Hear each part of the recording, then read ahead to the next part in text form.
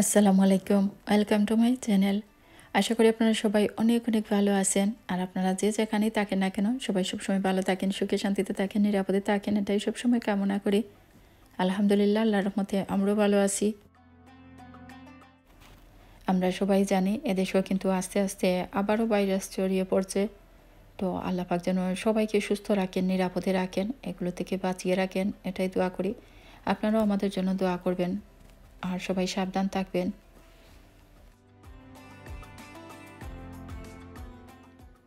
মঙ্গলবার সকালবেলা হামজাকে স্কুলে দিয়ে এসেছি।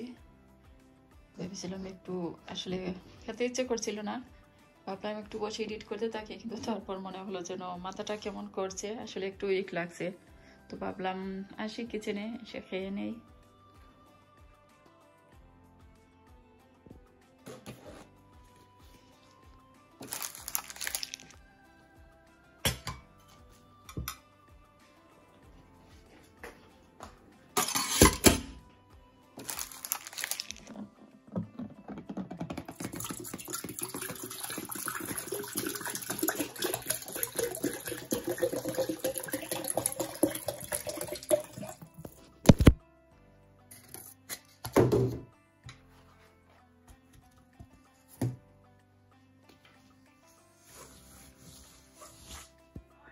ফ্রিজ থেকে আমগুলো বের করে নিয়েছি। ভাবলাম কেটে দিই তা না হলে পচে যাবে।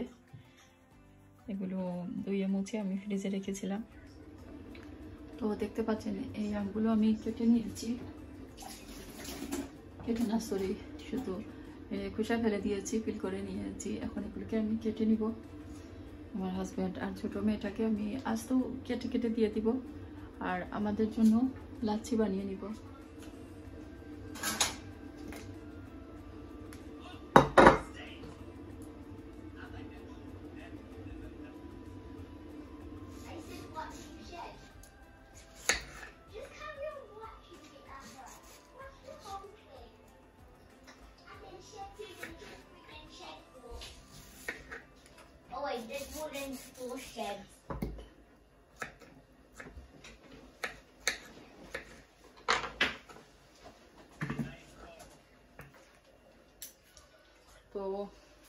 এতে এখন আমি ইয়োগার্ট দিয়ে দিব।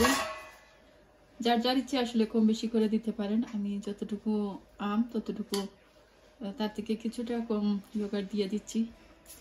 চাইলে একটু দুধও মিক্স করতে পারেন। আর এর সাথে আমি চিনিও দিয়ে দিব। এর সাথে সুগারও দিয়ে দিব।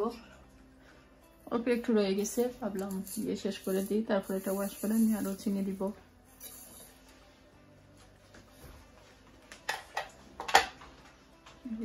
লেগে গেছে?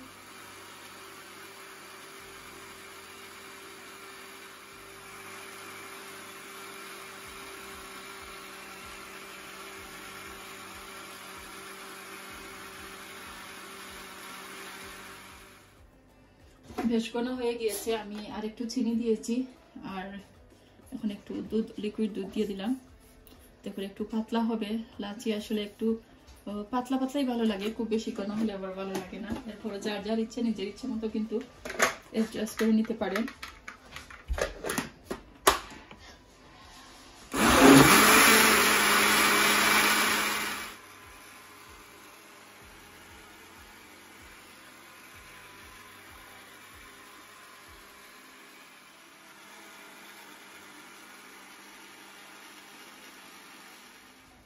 তো দেখতে পাচ্ছেন আমার ম্যাঙ্গো লাসি রেডি হয়ে গেছে। আমি এখন গ্লাসে ঢেলে নিব।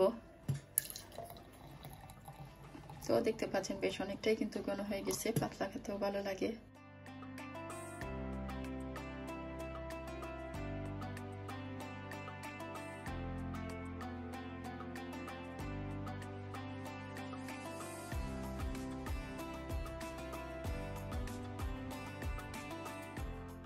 আম, টমেটো এগুলো দেখেছিলেন। পাশের টাউন থেকে এনেছিলাম। আর ভাবলাম এই টমেটোগুলো একেবারে খুব বেশি পাকা, কি বলব, পাকা, খুব বেশি পাকা, আসলে একদম বেশ সফট ভাবলাম এগুলো দিয়ে ভর্তা বানিয়ে নেই। এই তো ভর্তা বানিয়ে নিয়েছি। বেশ অনেকদিন পরে এরকম ভর্তা বানালাম।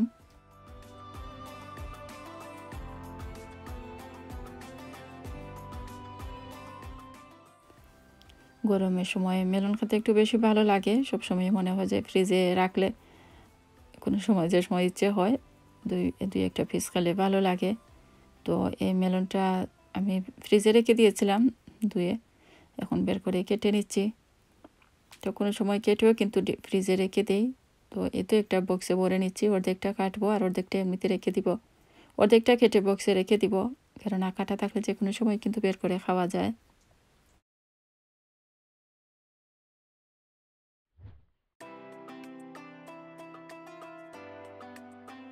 বিরিয়ানি রান্না করব। এজন্য দেখতে পাচ্ছেন আমি পেঁয়াজ কষি বেজে নিয়েছি। আর এর মধ্যে আমি আদা রসুনের পেস্টও দিয়ে দিচ্ছি। তো আরেকটু বেজে নিব। তারপর আমি যেহেতু চিকেন বিরিয়ানি রান্না করব, বেশিরভাগ সময় ব্রেস্ট চিকেন দিয়ে রান্না করি। তো কিছু আরও কিছুটা ভাজা হয়ে গেলে আমি চিকেন টুকরো করে রেখেছি দিয়ে দিব। আমি আজকে শান বোম্বাই বিরিয়ানি মশলা দিয়ে চিকেন দিয়ে বিরিয়ানি রান্না করছি। আসলে প্যাকেটের ইনস্ট্রাকশন আমি অতটা ফলো করি না। আমি আমার মতো যেভাবে সহজ হয় সেভাবে রান্না করে নিই। তো আমি টু থ্রি টেবিল স্পুনের মতো ইয়োগা দিয়ে দিয়েছি। আর শানের যে বোম্বাই বিরিয়ানি মশলা, সেটাও দিয়ে দিয়েছি। তো একটু নেড়ে ছেড়ে আমি এর মধ্যে চিকেনও দিয়ে দিব। চিকেন অলরেডি আমি ধুয়ে কেটে পরিষ্কার করে পানি জড়ার জন্য রেখে দিয়েছি।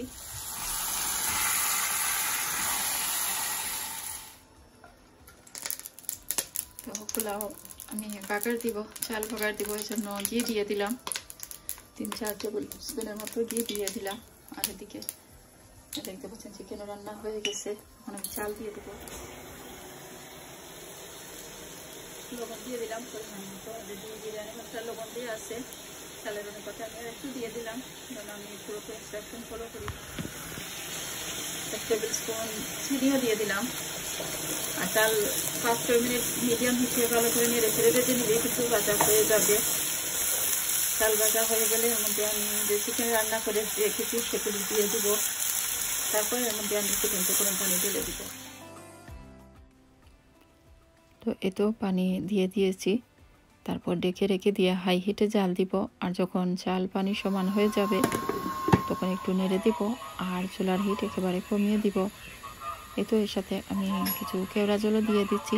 তারপর নেড়ে ছেড়ে উপর নিচ করে ডেকে রেখে দিব। আর চুলার হিট তো একেবারে কমিয়ে দিয়েছি। একবার নাড়ার পর ডেকে রেখে দিয়ে চার পাঁচ মিনিট পর আরেকবার নেড়ে দিব আর ফুটে যাওয়া পর্যন্ত ওয়েট করব। এদিকে আমি একটু সালাদও বানিয়ে নিচ্ছি।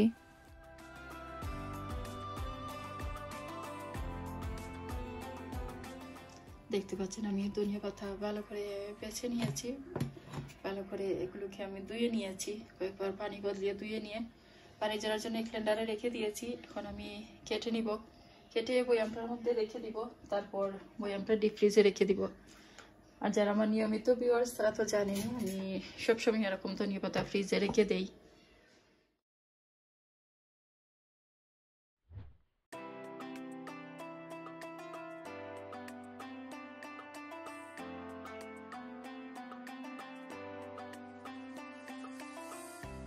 একদিনের কিছু টুকিটাকি ভিডিও ক্লিপস জমা হয়ে গিয়েছিল, তাই ভাবলাম সব কিছু দিয়ে একটা ব্লগ সাজিয়ে আপনাদের সাথে শেয়ার করি। এই তো, এদিকে আমি মিট রান্না করব। মিট বের করে ভিজিয়ে রেখেছি। মাছ রান্না করব, মাছ কেটে নিয়েছি, তারপর লবণ দিয়ে ভিজিয়ে রেখে দিব। আর এই তো, পেঁয়াজ ছিল না গড়ে, শুক্রবার ছিল, শুক্রবার দিনে পেঁয়াজের এই বস্তাটা নিয়ে এসেছেন। তো এই পেঁয়াজ কেটেও আমি রেখে দিব শেলফের মধ্যে।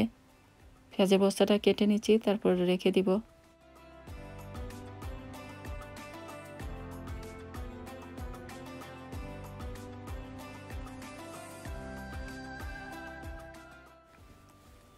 মিট রান্না করব। বাকার দিয়ে দিয়েছি, পেঁয়াজ কুচি দিয়ে দিয়েছি, গরম মশলা দিয়েছি, লবণ দিয়ে দিলাম পরিমাণ মতো। আর কিছুটা মেল্ট হয়ে যাওয়ার পর এর মধ্যে আমি আদা রসুনের পেস্টও দিয়ে দিব। অনেকে অনেকভাবে রান্না করেন, আমিও মাঝে মধ্যে রান্না করি এক এক সময় এক একভাবে রান্না করি। কোনো সময় একসাথে সব কিছু মেখে বসিয়ে দেই। তো আজ একটু বাগার দিয়ে রান্না করছি। এই তো সব ধরনের গুঁড়ো মশলা দিয়ে দিব। নর্মালি যে সকল গুঁড়ো মশলা দিই সেগুলি দিয়ে দিব। গরম মশলা, গরম মশলার পাউডার দিয়ে দিলাম। ধনিয়ার গুঁড়ো সরি ধনিয়ার গুঁড়ো দিব। জিরার গুঁড়ো। হলুদের গুঁড়ো দিয়ে দিলাম। মরিচের গুঁড়ো।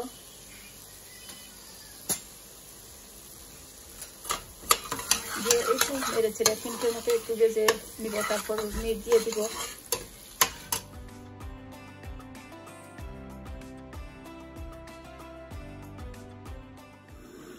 মাছ ভাজা করব আমি লবণ দিয়ে দিলাম।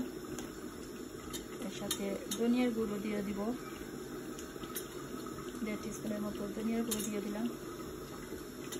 আর হলুদের গুঁড়ো আর মরিচের গুঁড়ো দিয়ে দিব তারপর এক মশলা মেখে রেখে দিব কিছুক্ষণ। একটু মশলা মেখে নিয়েছি, কিছুক্ষণ রেখে দিব। আর এর সাথে আমি ওয়ান টেবিল স্পুনের মতো লেবুর রসও দিয়েছি।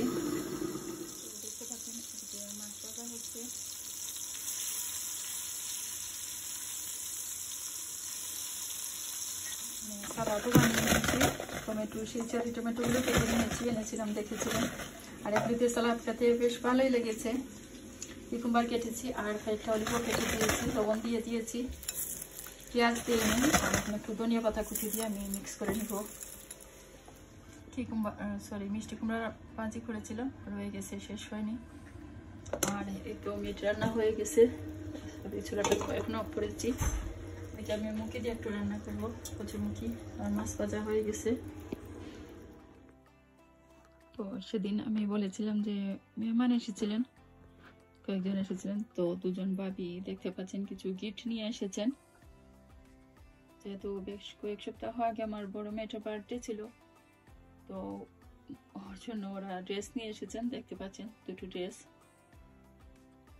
যেহেতু লকডাউনের জন্য আসলে কেউ কারও বাসা যাওয়া আসা তেমন তো আর হয়নি তখন আস্তে আস্তে যেহেতু সবকিছু নর্মাল হচ্ছে বা একটু বইটা আগের থেকে একটু কমেছে, এজন্যই আসলে এখন একটু যাওয়া আসা হচ্ছে আর কি। সাধারণত বেশ অনেক দিন থেকে সবাই যার যার করে বন্দি। তেমন আসা যাওয়া নেই। আর পার্টি টাটিও আসলে তেমন একটা এখন আর করা হয় না পার্টি টাটি বা কয়েকজন একসাথে বিকেলবেলা হোক বা যে কোনো সময় হোক পার্টি দেওয়া সেটা আর এখন হয় না। তো দেখতে পাচ্ছেন দুটো ড্রেস আমার বড় মামনিটার জন্য আর হামদার জন্য। হামদার জন্য দেখতে পাচ্ছেন, একটা ট্রাউজার একটা টপ আর এই তো আমার জন্য একটা ব্যাগ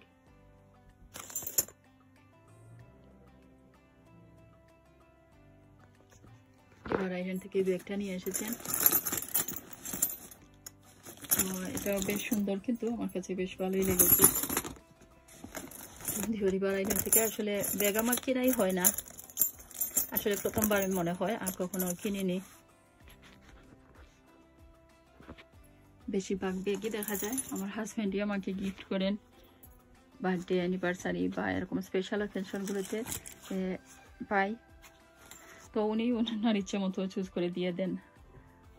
আর আমাদের টাউনে খুব বেশি শপ টপ নেই। আগে তো রিপার আইল্যান্ড বা টপ শপ এগুলো ছিল না, নতুন হয়েছিল। আবার কয়েকটা বন্ধ হয়ে গেছে। তো বেশিরভাগ সময় দেখা যায় সিটি সেন্টার বা মেরি হিল ওইসব জায়গা থেকে ব্যাগ টেক কিনে দেন।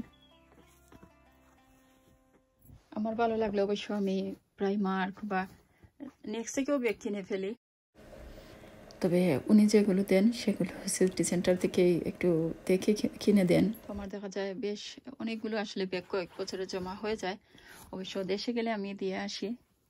যত দামেরই হোক না কেন, দেশে গেলে আমি দিয়ে আসি বলি মনে হয় যে এতগুলো একসাথে রেখে কি করব। না, দেখবেন কয়েক বছরে কিন্তু অনেকগুলো জমা হয়ে যায়। আর কোনো কোনোটা দেখবেন নষ্টই হয় না, একদম খুব ভালো থাকে। তো দেশে গেলে আমি দিয়ে আসি। দেখতে পাচ্ছেন?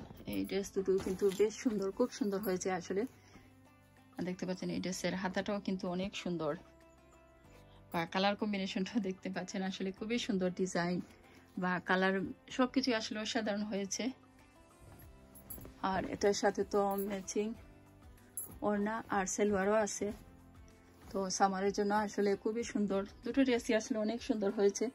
এটাও দেখতে পাচ্ছেন বেশ অনেক কাজ করা।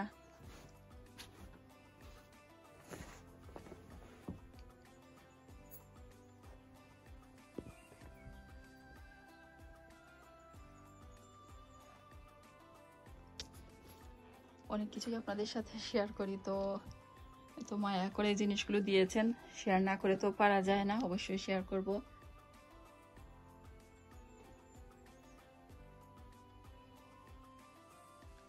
থ্যাংক ইউ দুজনকেই এই সুন্দর গিফটগুলো দেওয়ার জন্য। কোনো কোনো সময় দেখবেন যে অনেক ডিজাইনার বা খুব ভালো ব্র্যান্ডের ব্যাগগুলোরও কিন্তু কিছু ডিজাইন থাকে যে এদিকে জিপ থাকে না। সেগুলো যত দামের হোক বা ব্র্যান্ডের হোক না কেন, আমার কাছে কিন্তু ভালো লাগে না। আমি সেই ব্যাগগুলো একদম ভালো পাই না। কখনোই আমি সেরকম ব্যাগ কিনি না। কিন্তু আমার এরকম জিপ থাকলে যে কোনো সাইজেরই হোক না কেন, জিপ ব্যাগওয়ালা, জিপওয়ালা ব্যাগগুলো আমার কাছে ভালো লাগে। যেগুলো এই জায়গাটা জিপ থাকে না, সেগুলো আমি একদম আসলে ভালো পাই না বা কখনোই কিনি না। তো জিপ থাকলে সুবিধা হয়, আর না থাকলে মনে হয় যেন ভিতর থেকে কোনো কিছু পড়ে যাবে। কেননা ছোট ছোট বড় অনেক জিনিসই কিন্তু আমরা ব্যাগের ভিতরে রাখি। তো আমার কাছে এটাও কিন্তু অনেক ভালো লেগেছে, যেহেতু ভিতরে জিপ আছে। তো দেখতে পাচ্ছেন এই ব্যাগটা।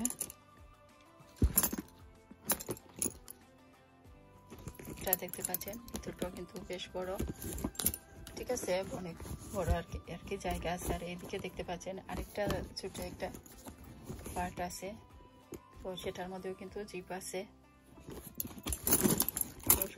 মিলিয়ে সুন্দরই হয়েছে।